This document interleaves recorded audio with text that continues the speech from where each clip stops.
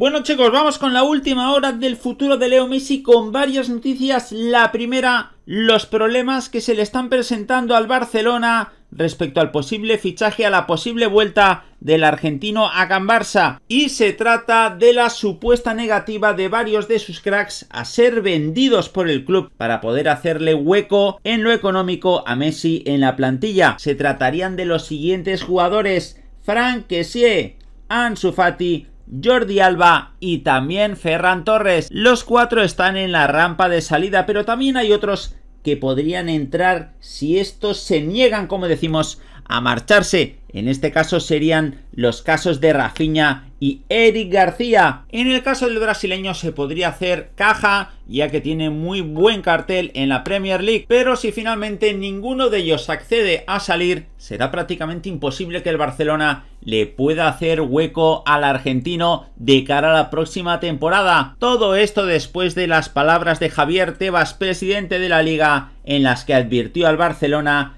que tiene que hacerle hueco y trabajar mucho para que pueda volver Messi a Can Barça. Comentó lo siguiente, el Barça no es como el PSG que tiene un grifo de gas y de dinero para tener una masa salarial grande. Así lo dijo Javier Tebas, otro de los que se han referido a la posible vuelta del argentino en este caso es el presidente de la Federación Española, Luis Rubiales, que comentó que si Messi vuelve a la liga será recibido con los brazos abiertos y comentó yo tuve la suerte de jugar con Leo Messi pero no sé si es buena o mala suerte porque lo tuve que marcar y él es un jugador irrepetible, espectacular, fantástico. En su posible vuelta yo no me meto tampoco. Al final, todos los españoles y también los seguidores del fútbol español de fuera del país quieren que los mejores jugadores estén en nuestra liga. Eso sí, solo es una cuestión suya o también del Barça que es el que está negociando o no, porque no lo sabemos, no me meto, pase lo que pase, es único en el fútbol mundial y siempre le desearé lo mejor. Esto es lo que comentó Rubiales sobre Messi, también habló el propio Xavi, entrenador del Fútbol Club Barcelona, que fue preguntado por la posible vuelta del crack de Rosario y dijo del tema de Leo Messi al final no sabemos si va a dar o no.